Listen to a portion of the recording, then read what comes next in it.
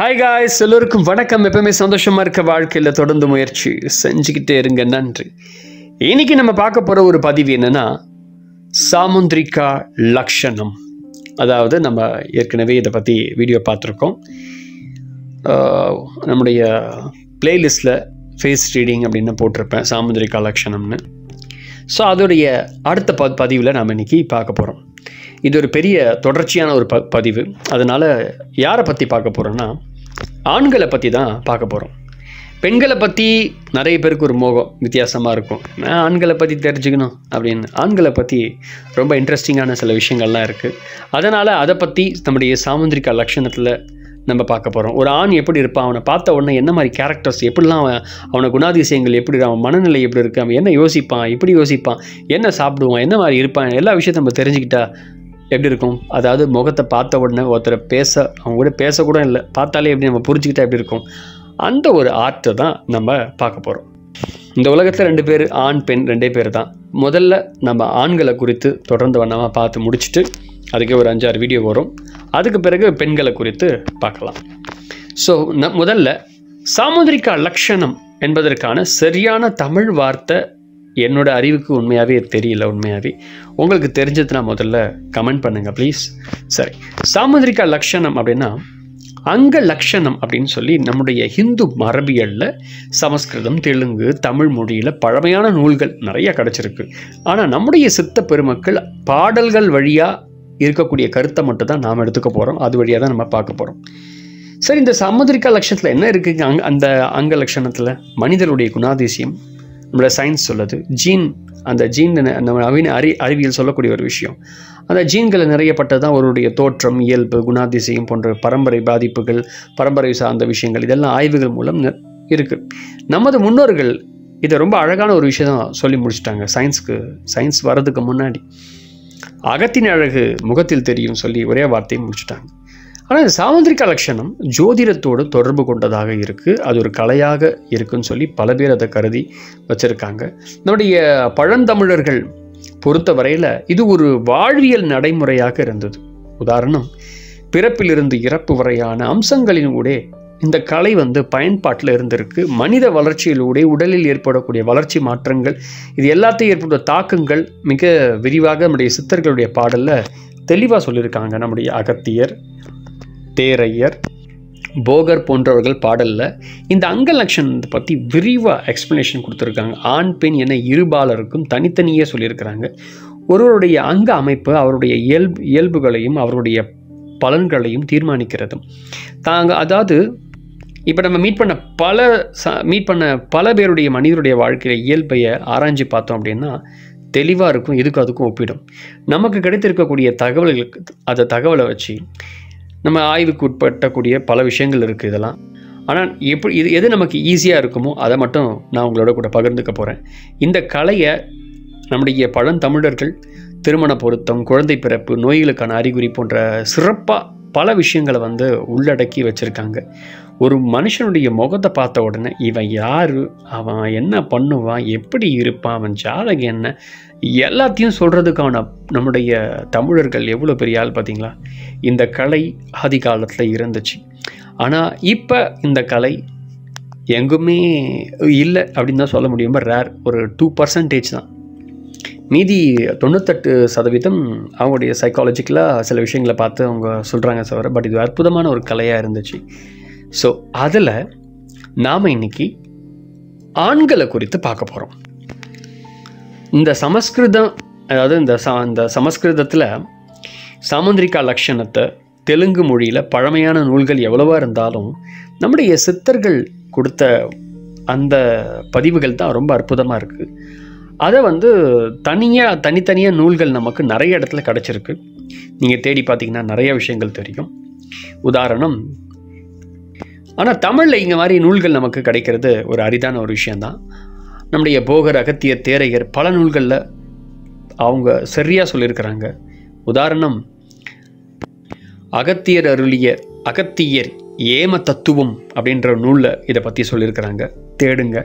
அடுத்தது அகத்தியர் அருளிய அகத்தியர் பனிரெண்டாயிரம் போகர் கொடுத்த போகர் பனிரெண்டாயிரம் தேரையர் கொடுத்த தேரையர் நயன விதி என்கிற நான்கு இந்த நூல்கள்லையும் சாமுந்திரிகா லக்ஷணத்தை பற்றி ரொம்ப அழகாக சொல்லியிருக்கிறாங்க இந்த கலையை பற்றி அதில் இருக்கக்கூடிய விஷயத்தை தான் நாம் ஒவ்வொரு பதிவாக பார்க்க போகிறோம் ஸோ இன்றைக்கி பார்க்க போகிறது என்னென்னா பெண்களை குறித்து சொல்லணும்னா பெண்கள் இத்தனை வகைகள் அப்படின்னு சொல்லி எல்லாருக்கும் தெரியும். அத்தி சங்கினி நிறைய சொல்லுவாங்க.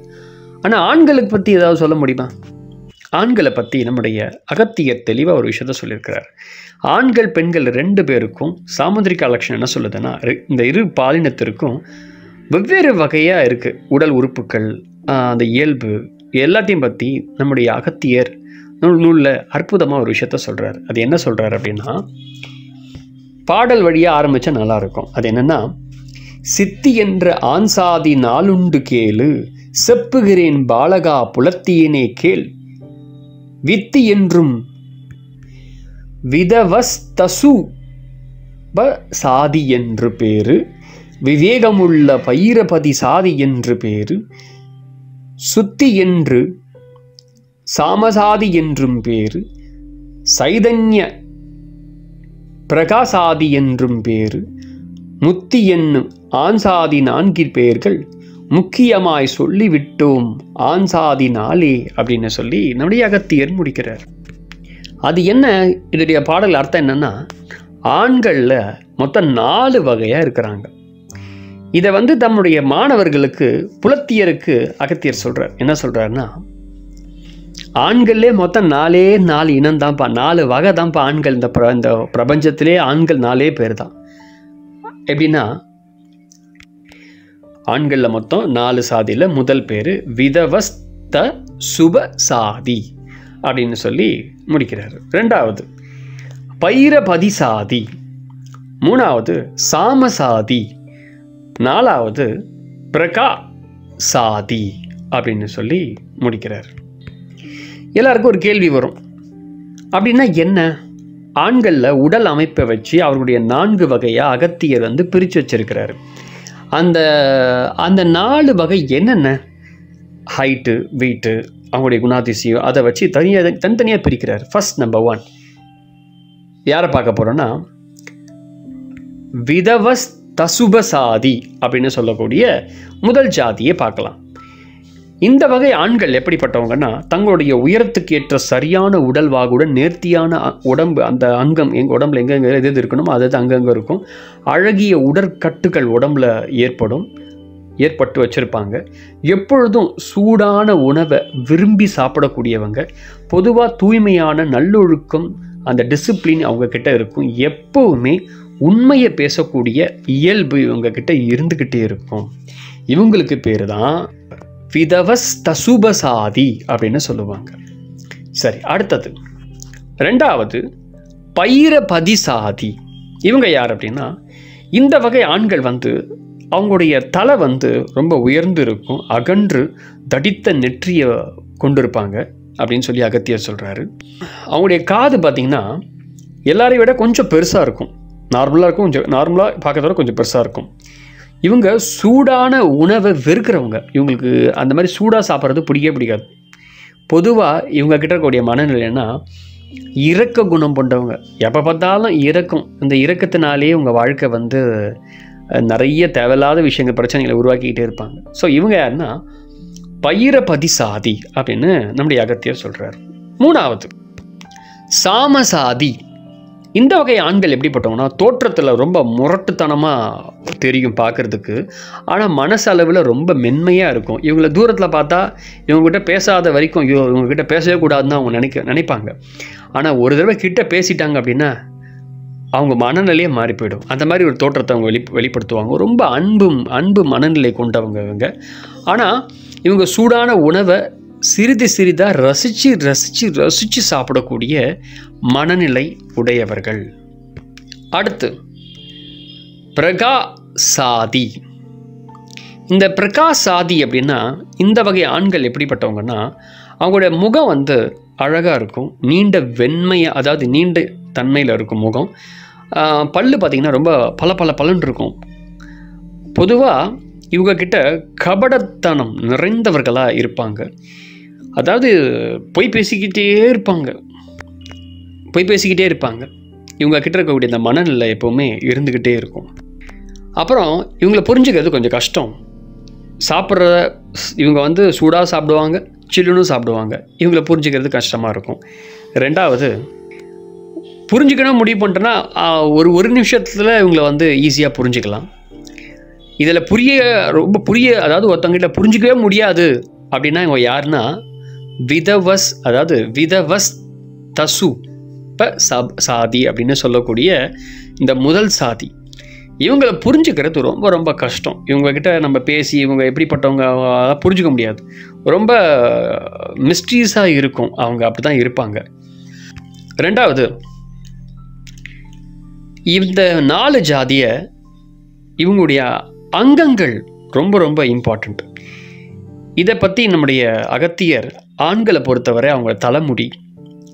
அவங்க அவங்கள பார்த்த உடனே எப்படி கண்டுபிடிக்கணும்னா அவங்க தலைமுடி நெத்தி கண் புருவம் கண்கள் மூக்கு வாய் உதடு பல்லு நாக்கு காது மீசை தாடி அந்த தா அந்த ஆடப்பகுதி கீழ்ப்பகுதி முகம் கழுத்து அக்கிள் காரை எ- அதாவது காரப்பகுதி எலும்பு பகுதி மார்பு பகுதி தொப்புள் முதுகு கை விரல்கள் உள்ளங்கை நகங்கள் இடுப்பு வயிறு அதை விந்து சா அது விந்து பீஜம் ஆண்குறி இது எல்லாத்தையும் வைத்துத்தான் பலன்களை அகத்தியர் சொல்கிறார் ஒவ்வொரு விஷயத்தையும் அவயங்களை வச்சு தான் இப்போ இந்த வீடியோவை பார்த்துட்டு இருக்க நீங்கள் விதவஸ் தசுப சாதி அல்லது பைர பதிசாதி சாமசாதி பிரகாசாதி இந்த நாலு சாதியில் நீங்கள் யார்? நீங்கள் எந்த சாதியை சேர்ந்தவங்க?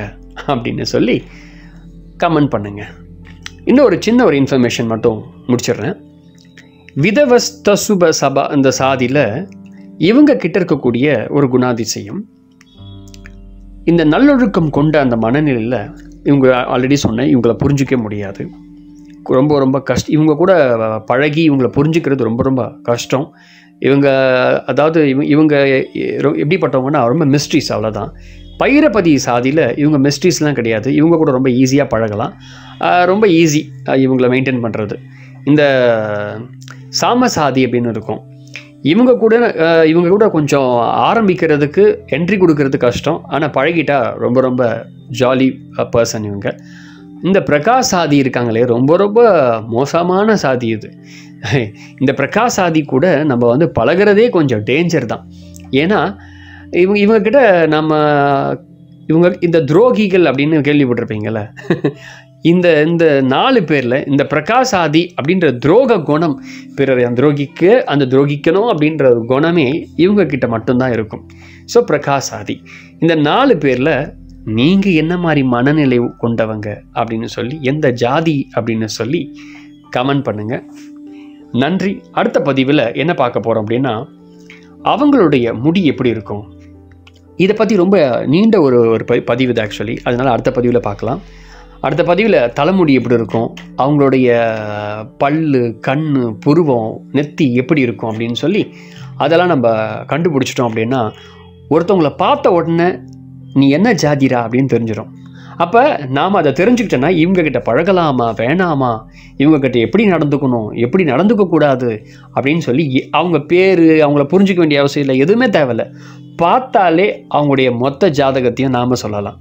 அடுத்த பதிவில் நம்ம அதெல்லாம் பார்க்க போகிறோம் யார் அதுக்கெல்லாம் மனித இது பேர் எப்படின்னா ஆந்த்ரபாலஜிஸ்ட் அப்படின்னு சொல்லலாம் என்னை பொறுத்த வரைக்கும். மனிதர்களை பற்றி தெரிஞ்சுக்கிறதுக்கான ஒரு அழகான ஒரு விஷயம். இது எனக்கு ரொம்ப பிடிச்ச ஒரு விஷயம். இதை பற்றி ரொம்ப டெப்த்தாக நம்ம போன நிறைய விஷயம் தெரிஞ்சுக்கலாம். இன்ட்ரெஸ்டிங்கான நிறைய விஷயங்கள் இருக்குது அதை பற்றி அடுத்தடுத்த பதிவில் நம்ம பார்க்க போகிறோம் விருப்பம் இருந்தால் கமெண்ட் பண்ணுங்கள் அடுத்த பதிவு வேண்டுமா வேண்டாமான்னு சொல்லி. இன்னும் நிறையா விஷயங்கள் இருக்குது மனுஷங்களை பார்க்காமையே அதாவது சாரி ஒரு முறை பார்த்தாலே அவங்க யாருன்னு அவங்க மொத்த ஜாதகத்தையும் சொல்லணும். யாராவது விருப்பப்படுறீங்க இந்த கலையை கற்றுக்கணும்னு ஆசைப்படுறவங்க மறக்காமல் கமெண்ட் பண்ணுங்கள் ஏன்னா அடுத்தடுத்த பதிவு உங்களுக்காக தான் வரப்போகுது. நன்றி. ஃபர்ஸ்ட் டைம் வீடியோ பார்க்குறீங்கன்னா மறக்காமல் நீங்கள் வீடியோவை ஷேர் பண்ணுங்கள் அண்டு மறக்காமல் வீடியோவை ஃபஸ்ட் டைம் பார்க்குறவங்க சப்ஸ்கிரைப் பண்ணுங்கள் நன்றி.